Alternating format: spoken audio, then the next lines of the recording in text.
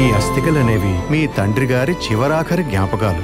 ఇవి నీటిలో కలిసిన మరుక్షణం భౌతికంగా ఆయన మీకు పూర్తిగా దూరమైపోయినట్టే.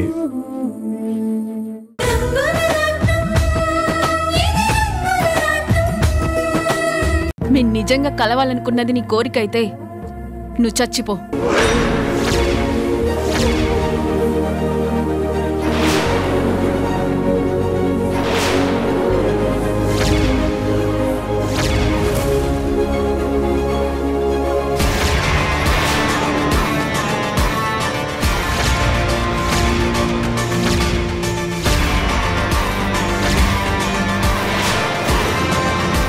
ఏంటి ఆలోచిస్తున్నావు?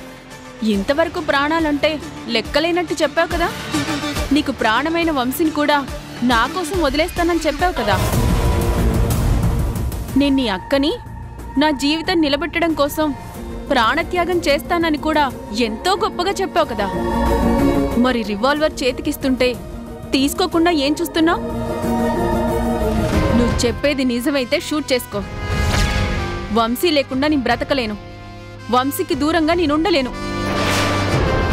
అందుకే ఏం చేసైనా వంశీని పెళ్ళి చేసుకోవాలని నీ మీద నిందలు వేసి మరీ నేను వంశీతో తాళి కట్టించుకున్నాను. కాని వంశీ నా వాడు కాకముందే నిజం తెలుసుకోవడంతో వంశీ నాకు దూరమయ్యాడు. కాని వంశీకి నేను దూరంగా ఉండలేకపోతున్నాను. కేవలం వంశీ తాళి కట్టాడన్న ఆనందంలో నేను బ్రతకలేను. వంశీ నాతో ఉంటేనే ఆనందంగా ఉంటుంది. వంశీ నా కోసం బ్రతికితేనే సంతోషంగా ఉంటుంది. మేమిద్దరం కలవాలన్నదే నీ కలే అయితే మా కోసం నువ్వు త్యాగం చేయడం నిజమే అయితే చచ్చిపో. నా ప్రాణం పోతేనే నీ జీవితం నిలబడుతుంది అనుకుంటే ఆనందంగా నా ప్రాణం తీసుకుంటాను.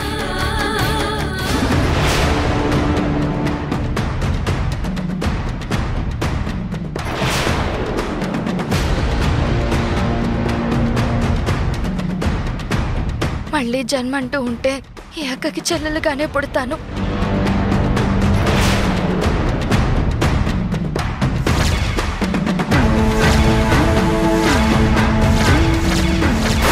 వర్ష!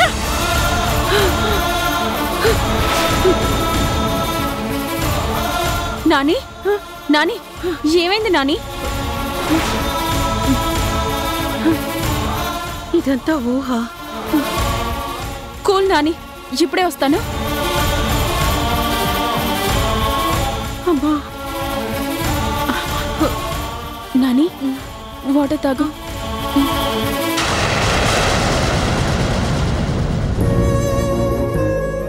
ఏంటి నాని వర్షాన్ని అంత గట్టిగా అరిచావు? ఏమైంది? ఏం లేదమ్మా. ఏం లేదు.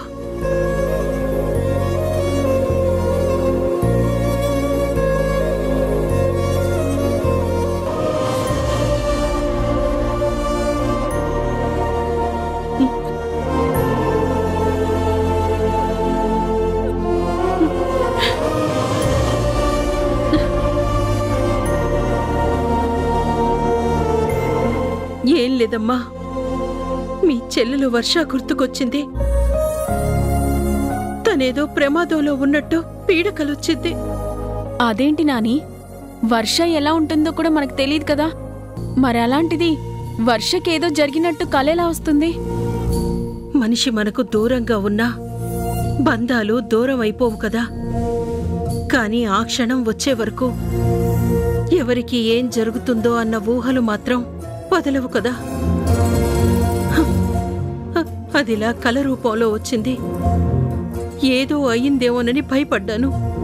లేదు నాని నా చెల్లెలకి ఏమీ కాదు. తను ఎక్కడున్నా బాగుంటుంది. నా చెల్లెలు నా ఇంటికొచ్చాక తనని మహారాణిలా చూసుకోవాలని నేను కూడా ఎంతో అనుకున్నాను. చిన్నప్పటి నుంచి నాకు చెల్లి ఎలా ఉంటుందో అన్న ఊహ తప్ప తను ఎలా ఉంటుందో ఆ రూపం కూడా తెలీదు. సమంత నిన్నొక మాట అడగచ్చా? అదేంటి నాని? నువ్వు నన్ను పర్మిషన్ అడగడం ఏంటి? అడుగు. వర్ష రూపం ఇలా ఉంటుంది అని నీకు తెలీదు కదా? ఒకవేళ వర్ష తిరిగొచ్చాక తను ఎలా ఉన్నా నువ్వు తనని అభిమానిస్తావా? ఇంతే ప్రేమ వర్ష మీద చూపిస్తావా? ఇంకా నన్ను అనుమానిస్తున్నావా నాని? నాకు కోపం ఉంది అను. నేను ఒప్పుకుంటాను. పంతం ఎక్కువ అని చెప్పు. అది ఒప్పుకుంటాను. కానీ నా చెల్లెలి మీద ప్రేమ లేదని మాత్రం నువ్వు ఎప్పుడు అనుకోకు. నాకు ఊహ తెలిసినప్పటి నుంచి ఈ ఇంట్లో వర్ష పేరు వినిపిస్తూనే ఉంది. తను రావాలని నువ్వు తాతి కోరుకుంటూనే ఉన్నారు. మీతో పాటు నాకు కూడా నా చెల్లెల్ని చూడాలని నేను తనతో సంతోషంగా ఉండాలని మేమిద్దరం ఒకటిగా మెలగాలని నాకు ఉంది. కానీ అది ఆశగానే మిగిలిపోయింది. నా చెల్లెలు ఇంటికి వస్తే తనని ఎంత ప్రేమగా చూసుకుంటానో తనని ఎంత అభిమానిస్తానో నువ్వే చూస్తావు కదా. కానీ నేను కోరుకునేది ఒక్కటే నాని తను ఎలా ఉన్నా సరే నాకు ఏ అభ్యంతరం లేదు. కానీ ఆ వర్షాల మాత్రం ఉండకూడదు. ఆ వర్ష రూపం కానీ ఆ వర్ష బుద్ధులు కానీ నా చెల్లెలికి రాకూడదు. అయినా మనకి సంబంధం లేని ఎవరో రాణి చెల్లికి నా చెల్లికి ఒకటే పేరున్నంత మాత్రాన పోలికెందుకొస్తుంది నాని? ఆ వర్షని తలుచుకుంటుంటే నాకు రక్తం మరిగిపోతుంది. దాన్ని చంపేయాలనిపిస్తుంది. కానీ నా చెల్లెలి వర్షం మీద నాకు పంతం ఎందుకుంటుంది? తను ఈ ఇంటి రక్తం.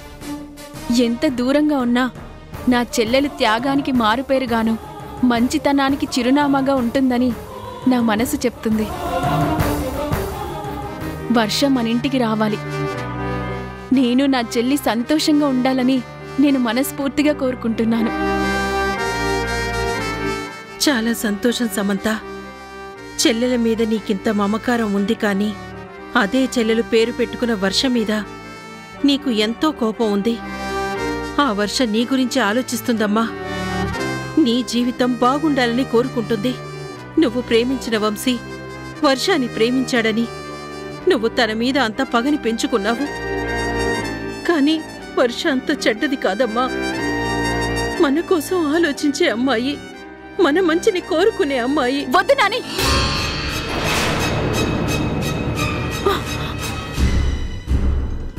ఆ వర్షాన్నెప్పుడు మనింటి మనిషిలా పోల్చకు. తిన్నింటి వాసాలు లెక్కబెట్టే మనిషి. బయటికి మంచిగానే కనిపిస్తుంది. కానీ తను మంచిది కాదు. తను అనుకున్నదే సాధిస్తుంది. నాలా పగని బయటికి చూపించదు. మనసులోనే దాచుకుంటుంది. మనిషిని మానసికంగా ఎలా చంపాలో ఆ వర్షకే తెలుసు. నా చెల్లెలి గురించి తలుచుకునే క్షణంలో ఆ వర్ష గురించి గుర్తు చేసి నన్ను బాధ పెట్టకు.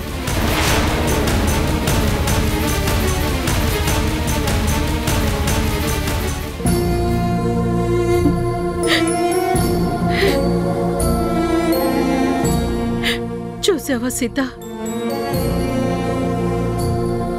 చెల్లెలంటే ప్రాణం అంటుంది. చెల్లిని ఇంటి మహారాణిలా చూసుకుంటానంటుంది. కానీ తన చెల్లినే వర్ష అని తెలుసుకోలేకపోతుంది. తన కళ్ళ ముందు కనిపిస్తున్న వర్షం మీద ఇంతలా పగ పెంచుకుంటుంది. తన చెల్లెలే వర్ష అని ఇక నేను ఎలా చెప్పగలను?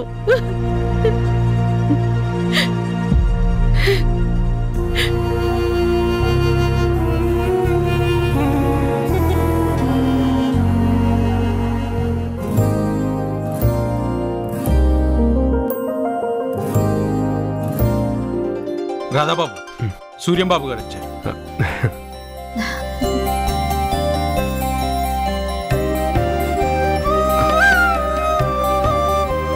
నమస్తే తాతయ్య. నమస్తే సార్. నమస్కారం బాబు. ఎలా ఉన్నారు తాతయ్య? మిమ్మల్ని చూసి చాలా రోజులైంది. అవునమ్మా. ప్రతిరోజు నేను రావాలని అనుకుంటాను కానీ ఏదో ఒక పని పడడం వల్ల రాలేకపోయాను. కానీ ఈరోజు ఎలాగైనా మిమ్మల్ని చూసి వెళ్దామని వచ్చాను రండి సార్. ఆ కుర్చీలో కూర్చోండి. వద్దు రాదా ఇది ఫ్యాక్టరీ యజమాని కూర్చునే కుర్చీ. ఇందులో కూర్చునే అర్హత నీకు మాత్రమే ఉంది. మేమెవరం కూర్చోకూడదయ్యా. అదేంటి తాతయ్య? ఈ ఫ్యాక్టరీ మీది. మీరు మాకు పెట్టిన భిక్ష. మా మీద దయతో ఇంత పెద్ద కంపెనీని మాకిచ్చారు. ఇందులో మేము కార్మికుల్లా పనిచేస్తున్నామే తప్ప యజమానుల్లా ఎప్పుడూ అనుకోలేదు. దీని నిజమైన యజమాని? మీరే తాతయ్య. అవును సార్. ఫ్యాక్టరీ నడుపుతున్న బాధ్యత నాదే అయినా ఈ ఫ్యాక్టరీ చేయి జారిపోకుండా కొన్నది మాత్రం మీరు. ఎవ్వరికీ అమ్మేయకుండా మళ్ళీ మాకు అప్పగించింది మీరు. ఇది ఎప్పటికీ మీదే సార్. లేదయ్యా. నాకు రాణి మీద ఏదో తెలియని మమకారం ఉంది. రాణి నన్ను తాతయ్య అని పిలిచినప్పుడంతా నాకు నా సొంత మనవరాలు పిలిచినట్టు అనిపిస్తుంది. మిమ్మల్ని పరాయి వాళ్ళు అనుకోలేదు నా వాళ్ళు అనుకున్నాను అందుకే నా వాళ్ళ కోసం నేను ఇచ్చాను. ఇందులో ఎటువంటి సందేహం లేదు ఈ ఫ్యాక్టరీ మీది వెళ్ళి కూర్చో.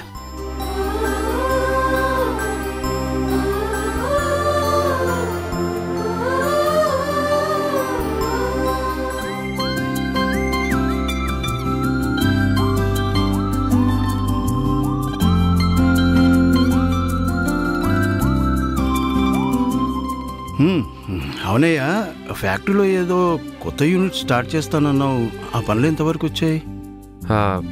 ప్రాజెక్ట్ డీటెయిల్స్ అన్నీ రెడీ చేశాను సార్. ఇండస్ట్రియల్ సెక్రటరీని కలిస్తే సరిపోతుంది. తన అప్రూవల్ వస్తే వెంటనే పని ప్రారంభించవచ్చు ఆ రిపోర్ట్స్ రెడీ చేయడంలోనే ఉన్నాను. అవును అవునయ్యా. ఫ్యాక్టరీలో గొప్పగా ఇంప్రూవ్మెంట్ చూపిస్తున్నావా? అది బాగానే ఉంది. మరి మీ జీవితంలో ప్రమోషన్ ఎప్పుడు?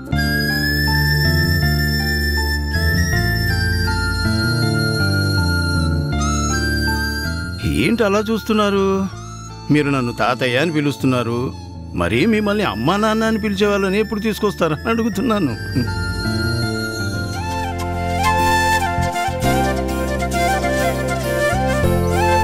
ఈ తాతయ్యకి శుభవార్త ఎప్పుడు చెప్తున్నావమ్మా?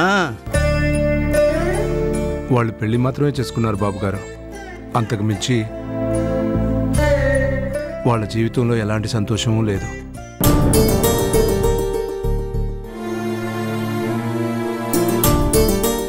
ఏంటండి నువ్వు అనేది? అవును బాబు గారు. వర్ష ఇల్లుదిరి వెళ్ళిపోయింది. తన జాడ ఇప్పటి వరకు కనిపెట్టలేకపోయాం.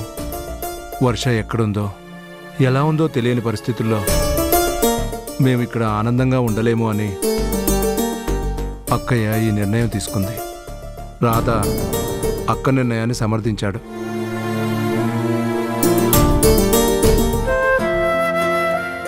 వర్ష తిరిగి వచ్చి మళ్ళీ అందరితో సంతోషంగా ఉంటే తప్ప వీళ్ళ జీవితంలో నిజమైన ఆనందం రాదు. ఎంత పనిచేసావు రాని వర్ష కోసం నీ జీవితంలోని సంతోషాన్ని త్యాగం చేస్తున్నావా? వర్ష ఎక్కడుందో నాకు తెలుసు. నీ పెంపకంలో పెరిగిన అమ్మాయి కదా. సమంత జీవితాన్ని నిలబెట్టడానికి తన జీవితాన్ని త్యాగం చేసుకుంటుంది. మీరంతా ఎంత గొప్పవాళ్ళమ్మా. కానీ ఈ నిజాన్ని నేను ఇప్పుడు నీతో చెప్పలేను. చెప్పొద్దని వర్ష నా దగ్గర మాట తీసుకుంది.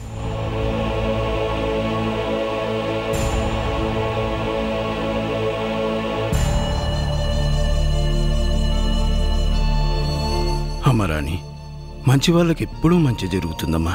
వర్ష ఎక్కడున్నా సంతోషంగా ఉంటుంది. తను తొందరలోనే నేను కలుస్తుంది.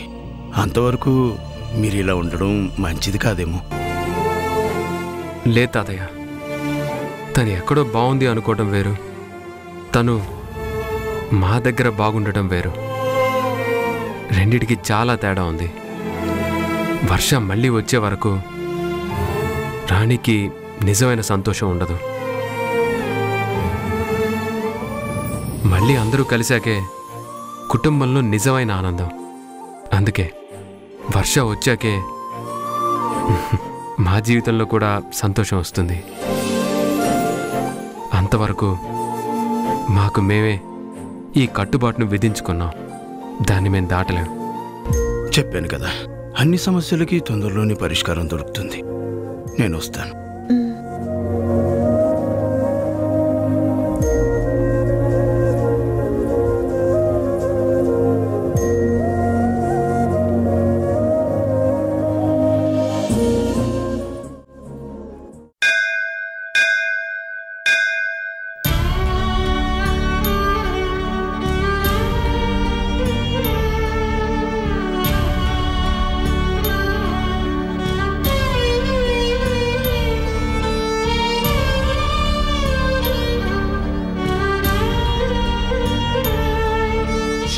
స్వామి నా జీవితానికి ఎందుకు ఇన్ని పరీక్షలు పెడుతున్నావు?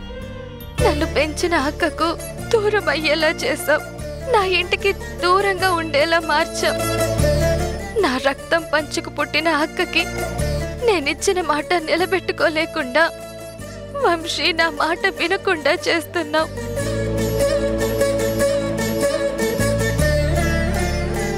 నా ప్రేమను నేను మర్చిపోవాలని నిర్ణయించుకున్నాను. కానీ నా మీద ప్రేమను వంశీ మర్చిపోవడం లేదు. ఎందుకు స్వామి ఇన్ని పరీక్షలు పెడుతున్నావు?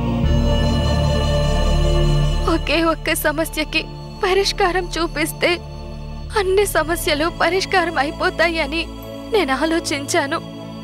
అదే సమంత అక్కని వంశీని కలపడం. అది జరిగితే ఇంకా ఏ సమస్య ఉండదు. అక్క జీవితం బాగుపడుతుంది. నేనే ఆ ఇంటి మనవరాల్ని అని చెప్పే అవకాశం నానమ్మకొస్తుంది. నేను నా కుటుంబంతో ఉండే అవకాశం వస్తుంది. నా కోసం కంటికి రెప్పలా ఎదురు చూస్తున్న రాణి అక్కకి నా జాడ తెలుస్తుంది.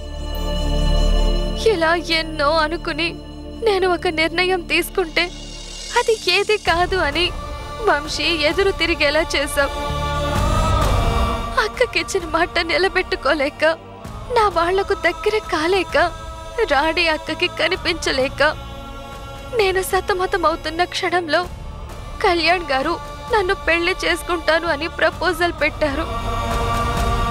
ఈ సమస్యలతో సతమతమవుతున్న నాకు ఇప్పుడు కొత్త సమస్య వచ్చింది. అందుకే నేను ఒక నిర్ణయానికి వచ్చాను. అన్ని సమస్యలకి అదే పరిష్కారం అని నాకు అర్థమయ్యింది అది తప్పో ఒప్పో నాకు తెలియదు గాని చెయ్యక తప్పదు అని తెలిసింది. అన్ని సమస్యలు పరిష్కారం అవుతాయని నేను ఆలోచించాను కాబట్టే ఈ నిర్ణయం తీసుకున్నాను స్వామి.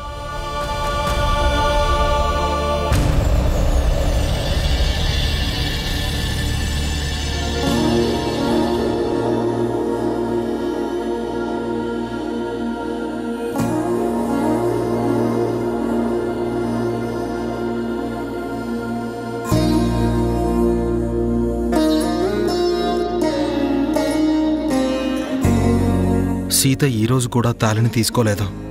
గడువు ముగిసిపోతుంది. అంటే సీతకు నన్ను పెళ్ళి చేసుకోవడం ఇష్టం లేదు. ప్రియతో అమ్మ అని పిలిపించుకుంటున్నా నా జీవితంలోకి రావడానికి మాత్రం తను అంగీకరించట్లేదు.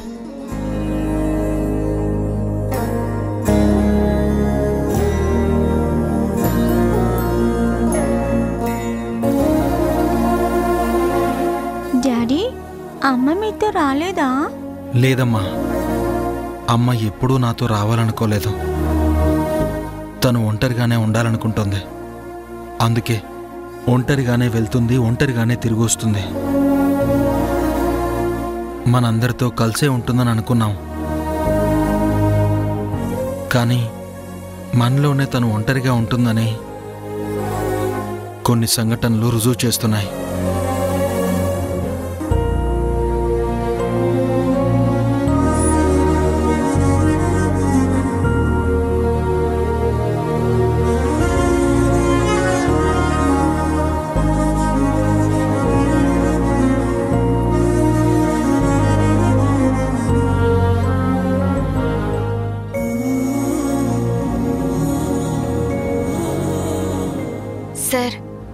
మాట్లాడాలి. అదేంటమ్మా?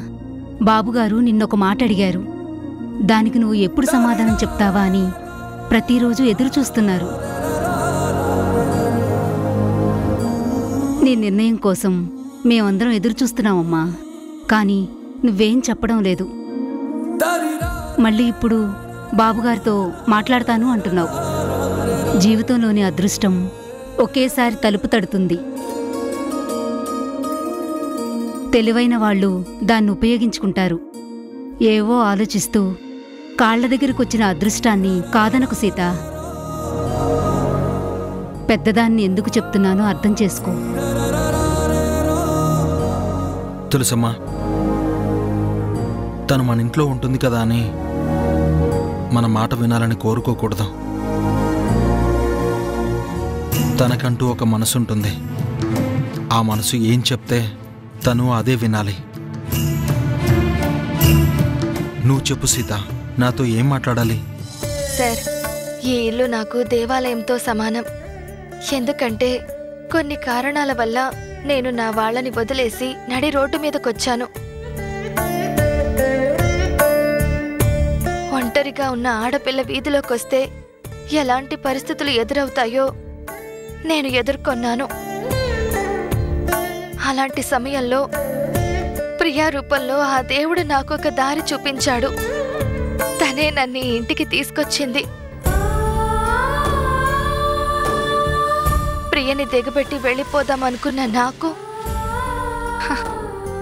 ఈ ఇంటితో ఒక బంధం ఏర్పడుతుందని కలలో కూడా ఊహించలేదు. మీది ఎంత మంచి మనసు కాకపోతే మీరు ఎంత గొప్పవారు కాకపోతే ఎవరో తెలియని ఒక అమ్మాయికి నీడనిస్తారు.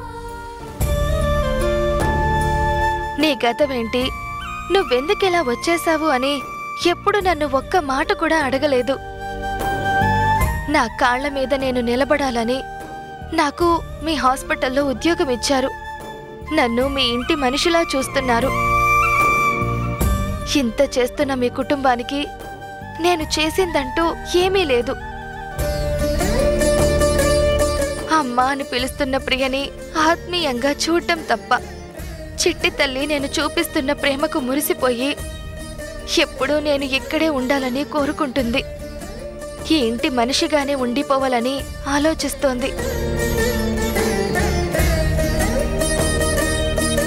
మీ కూతురు నిర్ణయాన్ని కాదనలేక మీరు కూడా ఒక నిర్ణయం తీసుకున్నారు. ఎలాంటి సందేహం లేకుండా మీ నిర్ణయాన్ని మీరు నాతో చెప్పారు. నా మనసు ఏం నిర్ణయం తీసుకుంటుందో అదే నిర్ణయాన్ని చెప్పమన్నారు. ఎంతమంది నాతో మాట్లాడాలని ప్రయత్నించినా మీరు నా మాటకే విలువిచ్చారు. మీరంతా చాలా గొప్పవారు. మీలాంటి వాళ్ళని నా ప్రవర్తనతో బాధ పెడుతున్నానేమోనని ఇప్పుడు నాకు అనిపిస్తుంది. కానీ ఏం చేస్తాం చెప్పండి? జీవితం అనే రంగుల రాట్నంలో నేను కూడా గమ్యం తెలియకుండానే తిరుగుతున్నాను. అందుకే ఇప్పుడు నేను ఒక నిర్ణయానికి వచ్చాను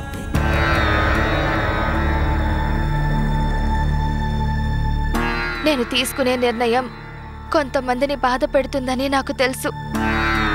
ఇంకొంతమందిని ఆనంద పెడుతుందని నాకు తెలుసు. అందుకే ఆ అమ్మవారి సాక్షిగా ఈరోజు నా నిర్ణయాన్ని చెప్పబోతున్నాను. దాన్ని ఎవరు ఎలా తీసుకున్నా సరే ఇది ఆ దైవ నిర్ణయం అని నేను అనుకుంటున్నాను.